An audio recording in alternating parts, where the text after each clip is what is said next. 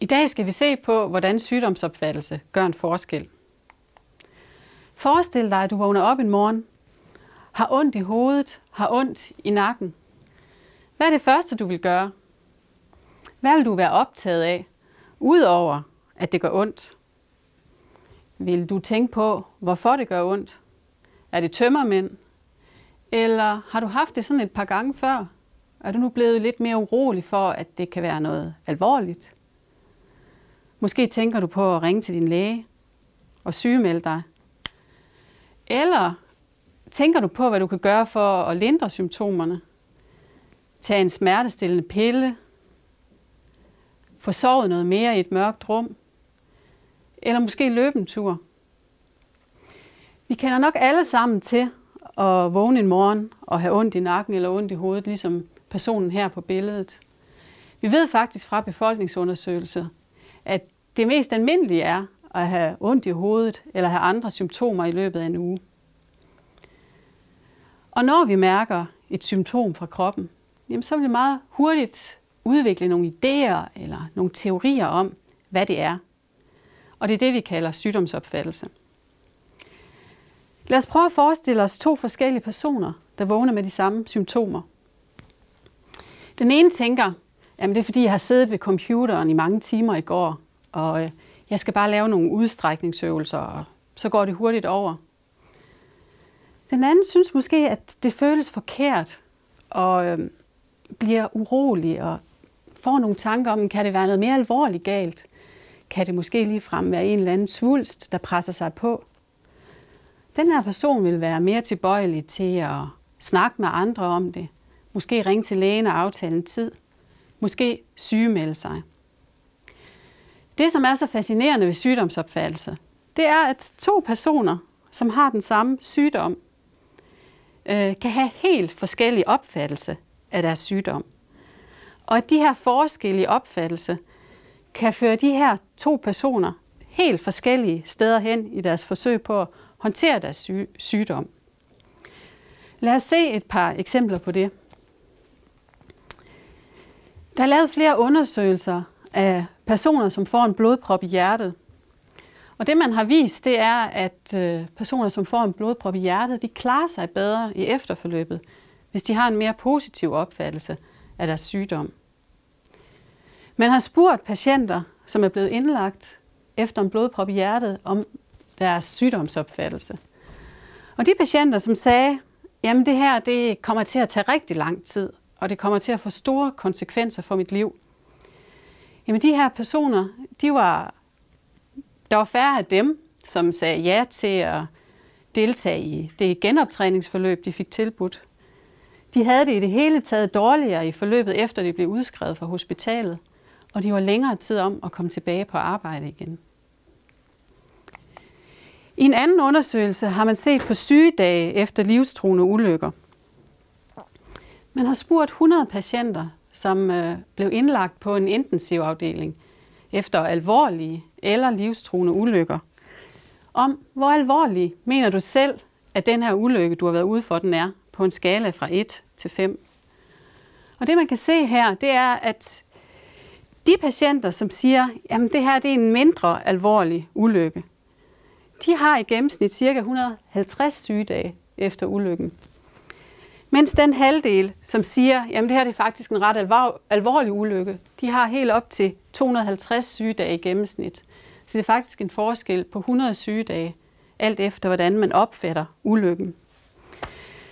Spurgte man faktisk også de her samme personer om, hvor god tror du selv, du vil være til at håndtere øh, ulykken og de konsekvenser, den får. Og den fjerdedel, som sagde, at det her det er en mindre alvorlig ulykke, jeg vil være god til at håndtere den, de var helt nede på at have 120, dage, 120 sygedage i gennemsnit. Mens den, den fjerdedel af patienterne, der sagde, jamen det her det er en meget alvorlig ulykke, og jeg vil ikke være ret god til at håndtere konsekvenserne af den, de havde næsten 290 sygedage i gennemsnit. Så tanker gør en forskel. Vores sygdomsopfattelse gør en forskel. Men så kan man jo indvende, jamen er det ikke bare fordi, at dem, der siger det er mere alvorligt, Øh, det er faktisk fordi, at de havde en stor, større blodprop i hjertet, eller de havde ude for en mere alvorlig ulykke. Sådan forholder det sig faktisk ikke. I de her undersøgelser, der har man spurgt, øh, eller der har man haft nogle mål for, nogle medicinske mål for, jamen, hvor alvorlig var den her blodprop i hjertet, hvor stor var den. Man har også spurgt til lægens vurdering af, hvor, hvor, alvorlig, var, hvor alvorlig kvæstet var den her patient efter ulykken. Så sygdomsopfattelse gør en forskel. Lad os uddybe ved at se på en anden sygdom, nemlig funktionelle lidelser. Det her det er en tegning, der kunne være lavet af en person med en svær funktionel lidelse. Som I kan se, er der rigtig mange symptomer. Koncentrationsbesvær, træthed, svimmelhed, hovedpine, søvnbesvær, kvalme, sløjhed, tynd mave, rysten, muskelsmerter, nedsat følesans. Prøv at forestille dig, at øh, du igennem flere år måske havde haft så mange symptomer, og at, det gjorde, at, de, at de symptomer gjorde det svært for dig at fungere i din dagligdag, svært for dig at passe de ting, du skulle øh, på hjemmet, og svært for dig at passe dit arbejde. Det er det, vi kalder en funktionel lidelse. Og man kan tale om, at kroppen er overbelastet, eller at kroppen har sagt fra. Alle de her symptomer øh, giver mistanke om at, om, at der er en underliggende sygdom. Og når man undersøger øh, patienten, så finder man ikke nogen forklaring på symptomerne. Og derfor kan mange personer, som har en svær funktionel lidelse, øh, mange af dem har måske oplevet at få at vide, at øh, de ikke fejler noget. Så prøv at forestille dig, at du har det så skidt, har svært ved at fungere i din dagligdag, og så få, ikke kan få en diagnose.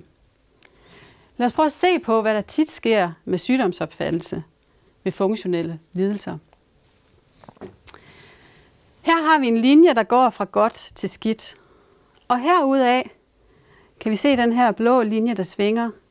Vi kan forestille os et almindeligt liv. Igennem et almindeligt liv, jamen der er vel vores livskvalitet, hvordan vi har det med os selv, hvordan vi har det med vores krop. Det vil variere. Der vil være perioder, hvor vi har det godt, og hvor vi har overskud. Og der kan være andre perioder, hvor vi er syge og har det svært. Så er der en linje længere hernede, og det er fordi, vi ved fra forskning, at øh, personer, som har en svær funktionel lidelse, at de øh, har det dårligere end raske. De har det faktisk lige så dårligt som personer, som har rygerlunger.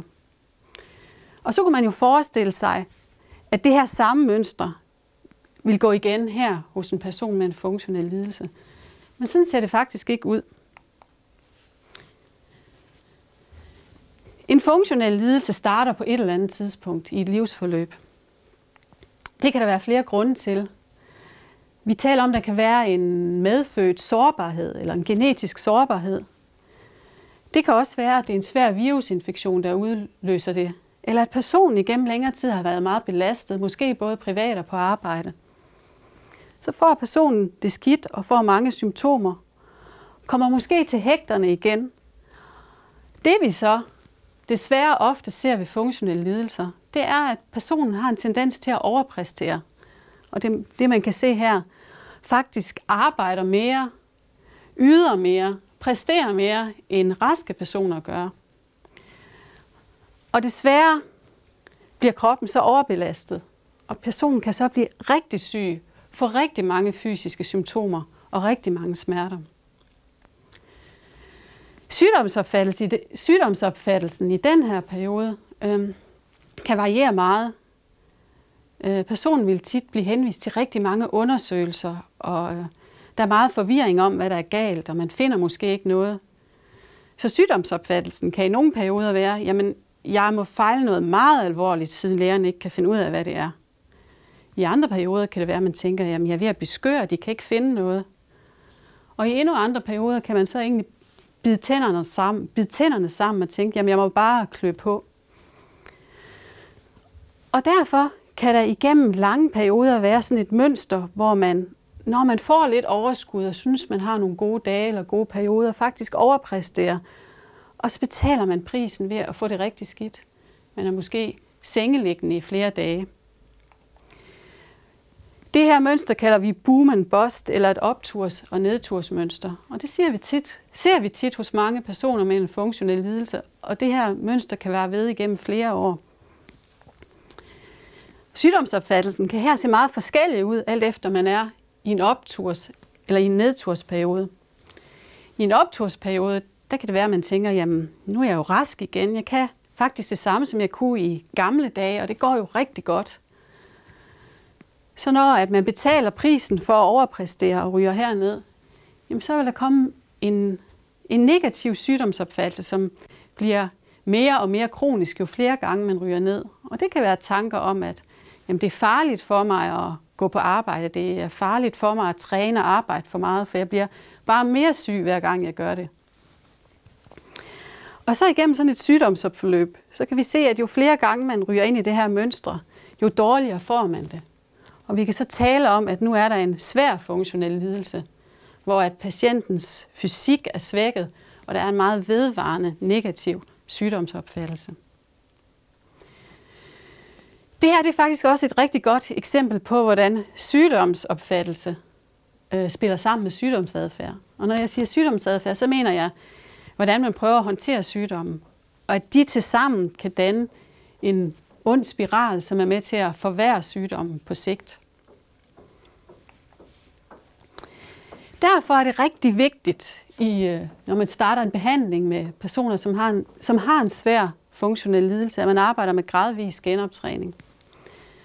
Og det vil sige, at man faktisk starter med, hvad kan en øh, patient på en dårlig dag, og så meget stille laver en genoptræning.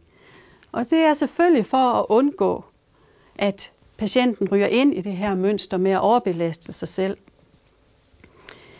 Man ser også tit i starten af en behandling, at mange patienter er blevet rigtig bange for at udfordre sig selv. Rigtig bange for at bruge kroppen, for de har den her tidligere erfaring med, at hver gang de har gjort det, så ryger de bare ned igen og får det endnu værre. Og derfor er det også rigtig vigtigt at arbejde med sygdomsopfattelsen.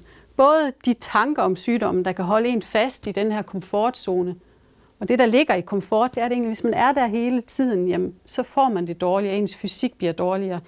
Vi har brug for at udfordre os selv. Og på den anden side også arbejde med sygdomsopfattelsen, sygdomsopfattelsen så man undgår at ryge herop i overbelastningszonen. Man kan sige, at udfordringen er at blive og få patienten ind i den her udfordringszone. Og der er det også vigtigt at arbejde med sygdomsopfattelsen. Det sidste eksempel, jeg vil se på i dag, det er helbredsangst. Hvad sker der, når du ser det her billede? Det kan være, at du mærker et sug i maven. Øhm, måske tænker du, at der har du i hvert fald ikke lyst til at være. De fleste af os kender angsten for at blive syg, for at blive alvorligt syg, i en eller anden grad. Ved helbredsangst, der bliver det her til en sygdom, som kan invalidere ens dagligdag. Forestil dig, at du vågner om morgenen og mærker de her symptomer fra nakken og hovedet, og at du meget hurtigt vil begynde at tænke, jamen, er det her noget meget alvorligt? Hvad kan det være? Øh, kan det være kraft? Begynder at gå og mærke efter. Og selvom du prøver, så kan du faktisk ikke slå de her tanker ud af hovedet. De bliver ved med at kværne rundt. Og alle de planer, du havde for den her dag, alle de andre ting, ting du skulle nå, det bliver rigtig svært fordi det er svært at koncentrere, koncentrere sig på grund af alle de her tanker, der kører rundt. Det er helbredsangst. Der kan man, man kan sige, at helbredsangst er karakteriseret ved en meget negativ og meget vedvarende sygdomsopfattelse. Der er nogle normale måder at reagere på, når vi mærker et symptom fra kroppen. Og man kan sige, at ved helbredsangst, der er det her mere udtalt. Mærker man det her symptom fra kroppen, for eksempel nakkegener, jamen så vil man, hvis man har helbredsangst, meget hurtigt få de her meget alvorlige tanker om, at det kan være, og der kan, være, der kan køre alvorlige lidelser rundt i hendes hoved, kraft, øh, øh, sklerose osv. For det første, når man har helbredsangst, så vil man Vær meget opmærksom på alt, hvad der sker i ens krop. Kroppen sender hele tiden signaler til vores hjerne. Og når man er helbredsangst, vil man være meget opmærksom på alle signaler fra kroppen. Og når man så mærker noget fra kroppen, så vil der hurtigt opstå alle de her truende og meget negative tanker. Og så bliver man selvfølgelig bange. Man bliver bekymret, man bliver bange. Man bliver måske også trist og ked af det. Og så vil man selvfølgelig gøre alt, hvad man kan for at slippe af med det. Det vi kalder sygdomsadfærd. Man vil måske meget hurtigt ringe til lægen og bestille en tid, sygemelde sig for at komme til lægen. Det kan være, at man går på nettet og begynder at søge, hvad, hvad kan de her symptomer være tegn på. Man involverer måske sin partner eller pårørende for at få dem til at berolige sig. Selvfølgelig for at slippe af med de her tanker og den angst, som er så ubehagelig. Problemet er, at det kan godt være at meget, af det her virker på kort sigt. Men på lang sigt, så skal der mindre og mindre til at sætte den her onde cirkel i gang. Efterhånden kan det bare være den almindelige forpustethed, når man løber efter bussen. Det kan være lidt nervøsitet ved en jobsamtale, en konflikt med sin kæreste. Alt det kan være med til at sætte den her cirkel i gang. Man kan faktisk sige, at der bliver nogle vaner jo længere tid, man har haft helbredsangst, at ens, der bliver vaner med at gå meget til læge, vaner med at søge på nettet. Man kan faktisk også tale om, at ens tænkning, ens sygdomsopfattelse bliver til vaner. Derfor er det også vigtigt at forstå, at man kan ikke bare lige sådan ændre på sygdomsopfattelsen, og så er alle problemer løst.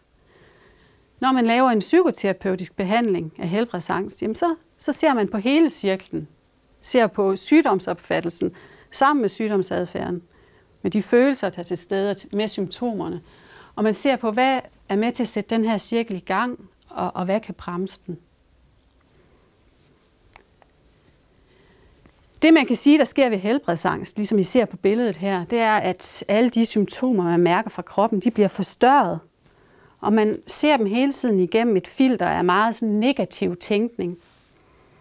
Men det gælder sådan set også ved alle andre symptomer for alle mennesker, at vores sygdomsopfattelse er et filter eller et bestemt par briller, vi ser verden igennem.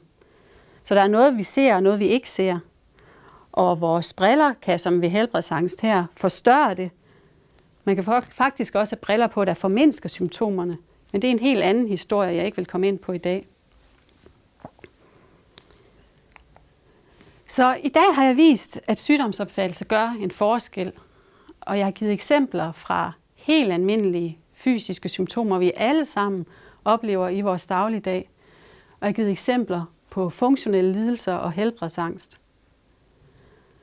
Så næste gang du vågner op med måske lidt spændingshovedpine eller et andet symptom, så kan du jo prøve at undersøge, hvad, hvad tænker du? Hvad føler du? Og hvad gør du? For sygdomsopfattelse gør en forskel, også for dig.